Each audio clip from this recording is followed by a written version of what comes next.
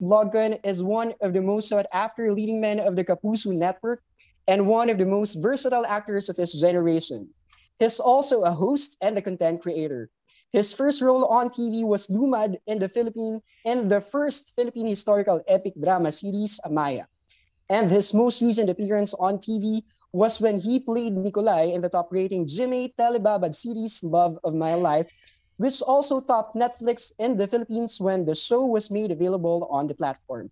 And after more than a decade, he stays loyal as a Kapuso as he renews his contract with GMA and GMA Artist Center. Please all welcome Mikael Daez.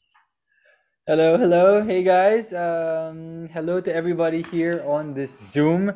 Uh, kakaiba to. And I guess, yeah, my wife is here. You can say hi. Hello. She served me my snack. So we've been do- uh, doing this all day, but I'm happy to be with all of you guys. I got some brownies and some milk. So sana may pamerienda rin kayo so that may energy tayo for today. Thank you, Mikael. At para po sa lahat ng mga kasama natin ngayon, please don't forget to use our hashtag. It's hashtag proud to be Kapuso, Mikael Daez. And now, allow me to introduce our blogger friends who are also here in the virtual room. First, we have Mr. Albert Abelido of Chicanes. Mabuhay! Hello, hello. Mr. Edsel Roy of Thermometer. Miss Kate Adahar of Random Republica. Hi. Mr. MJ De Leon of Gleets. Hello, happy merienda. Mr. Zeng Bauto of Shoe Business. Hi, Mikael. Mr. Naz Tabares of Pelikula Mania. Hi. We also have Mr. John Bueno of Kumagkao. Hi, Mikael. Mr. Chad Solis of the Manila Feed. Hi, Mikael. hey guys.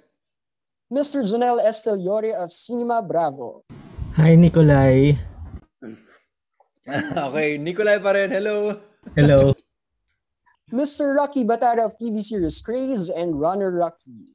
Hello, Mikael. Hello, hello. Mr. Justin Montas of Starring of the Day.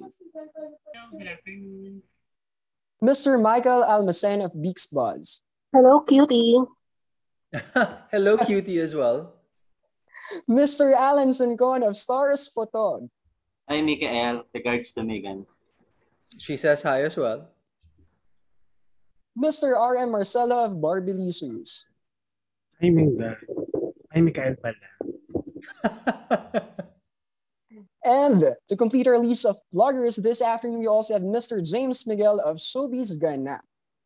Hi po. Yan nga po mga puso, muli magandang hapon po sa inyong lahat. And now let's proceed to our Q&A portion. The first question will be coming from Ms. Kate Adahar of Random Republica. Hi, good afternoon. Congratulations, Mikael. Um, how does it feel that GMA is renewing ties with you?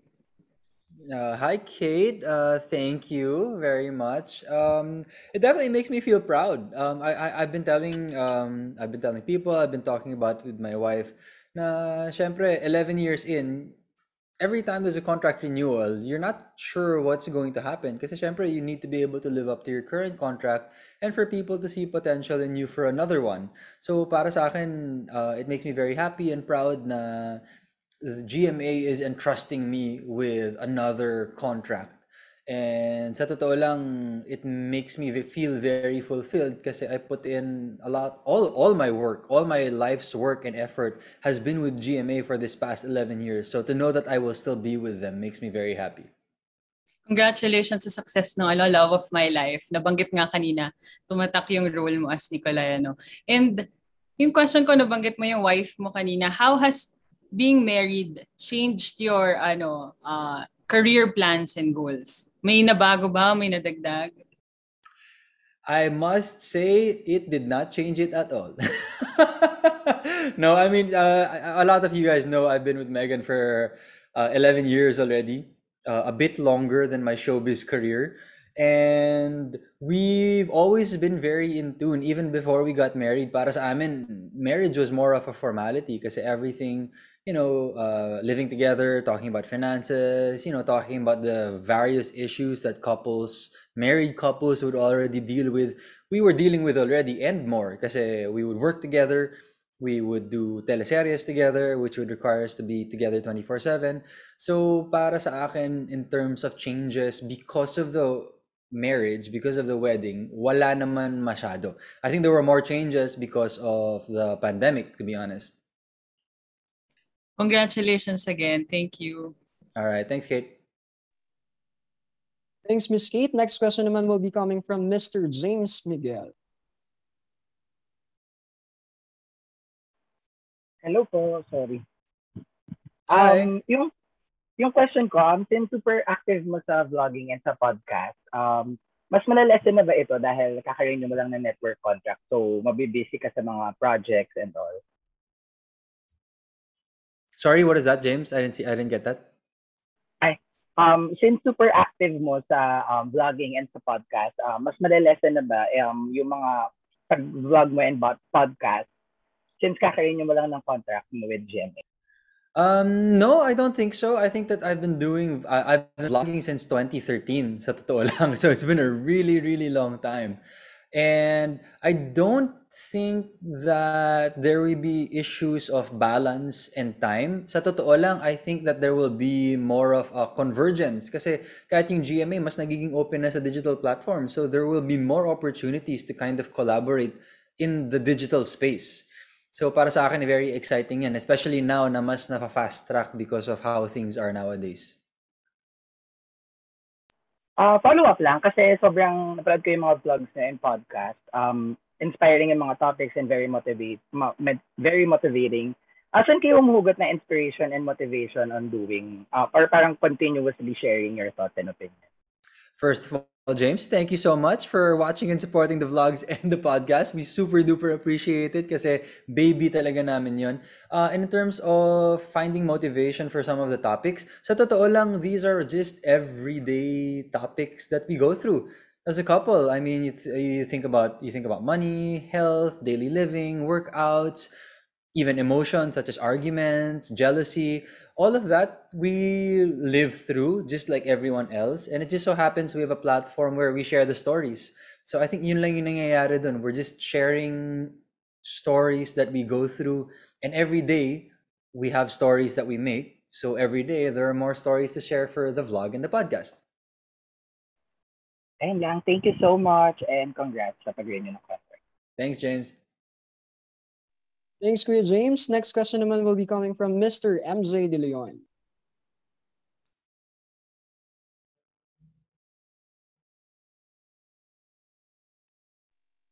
Okay, MJ. Hello. Yes, yes. Here, I'm here. Sorry, there sorry. we go. Hi, MJ. Ang hirap pa rin ng work from home. But yes, hi, Miguel. Congratulations. Um, probably, sige, my first question would be, you've had like you know food trips you're really known for your food shows and even your vlog. So if you would choose a certain food item fan question lang or dish to describe where you are at in your life and career right now what would it be? And yeah why? Pang miss you yung tanong but yeah.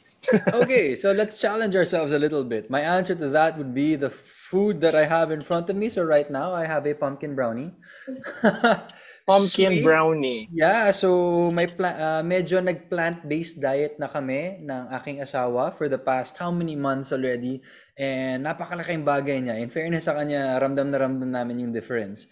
Uh, and I guess I would relate my current situation to this uh, pumpkin brownie.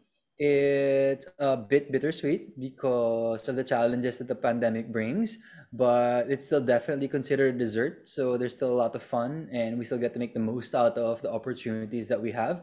And at the same time, it's healthy, and health is our number one priority. So hope that works out. yeah, pumpkin brownie. You got me intrigued there. Hindi ko pa natikman yan ever, but yeah. Very, um, very good. Must say.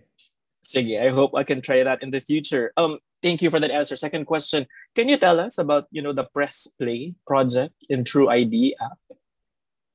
Uh, the press play project. Uh, well, actually, I was just a guest there, so I don't know how much I ah. can tell you about it. But yeah, I was a guest there. I think that press play is hosted by Richard Wan. I believe he might be one of the I... producers as well. But Uh, I, unfortunately, I don't really have much to share about that. But Okay. it was a fun guesting. Yeah, that's okay. Siguro follow up na lang specific uh, to the projects. Uh, do we have do we do we expect you in GMA shows soon uh, with the renewal of the contract? Yeah, um, I, I've been getting this question a lot today. Um, there have been a lot of internal discussions about different projects and opportunities na pwede sana namin gawin. It's just that yung landscape natin right now is ever changing. All of a sudden, you have extra Yes. rules, then lumuluwag yung rules. So parang nauudlot siya. So I'm not at Mhm. liberty to say what these projects are, but they are a moving target kasi hindi natin alam where will we be next month. Three months from now, six months from now. So there will definitely be something. There is one with Megan. There's uh there's a couple more without. So when the time is right, then I guess you guys will find out. Ayun, at least yung mga fans have something to look forward between, you know, up for a project between you and Mega. But yun, thank you and congratulations, Mikael. Thank you. I appreciate it. Stay safe. Thank you. Thanks, Kuya MJ. Next naman to ask questions is Mr. Alan Sancoin. Hi, good afternoon. Kaya, hi. Hello. There you are. Hi, Alan. Yeah, congratulations. Signing your contract with an- another, with GMA.